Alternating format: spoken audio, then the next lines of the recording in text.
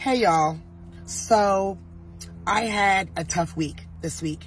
Um, a lot of disappointments, um, a lot of death, unexpected death, and even talking to clients, I, I heard a lot of brokenness, broken hearted, um, broken spirited, and I was like, okay, Lord, what what what do we need to do?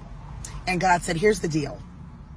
There's a gap between broken and blessed, and I allow the gap because in that gap, I help you increase your awareness of your human insufficiency and my bountiful supply.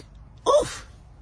So God said, if you relinquish your control and let me be God, in that gap, I will replenish, restore, repair to a point where you're even better than before. And I was like, okay. So here's the deal. If you had disappointments, if you're feeling like you're broken, this week, what we have to do is allow that gap and know that there's purpose for that gap and that God is going to step in and repair us, replenish us, restore us better than we were before. But we have to believe, have faith, like we talked about last week, and trust that God's going to do it if we just get out of his way. So this week, we got to get out of God's way. Amen.